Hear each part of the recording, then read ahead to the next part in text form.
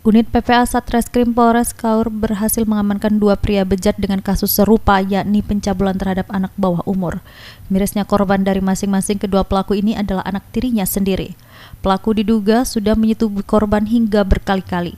Kedua tersangka ini adalah GZ 29 tahun dan UJ 53 tahun. Keduanya diamankan Senin 4 Februari 2024 di dua tempat berbeda.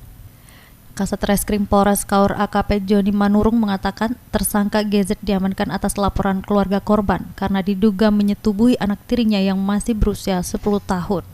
Perbuatan bejat pelaku ini sudah berlangsung selama dua tahun sejak Januari 2022 hingga Januari 2024.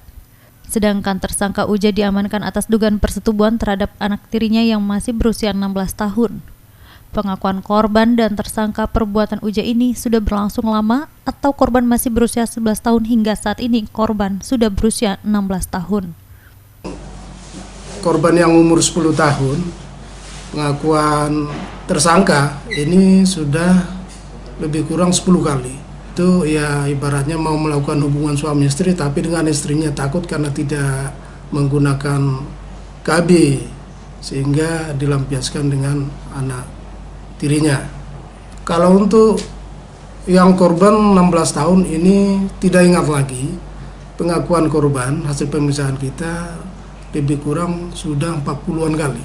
Terungkapnya berawal dari anak ini Atas perbuatannya itu, kedua pelaku dijerat pasal 81 atau 82 Undang-Undang Nomor 17 Tahun 2016 tentang Perlindungan Anak dan Tindak Pidana Seksual dengan ancaman 20 tahun penjara. Modus dilakukan pelaku ini sama, yakni mengancam supaya tidak menceritakan kejadian kepada orang lain dan memberi korban uang. Febrianto Roma dan RBTV melaporkan.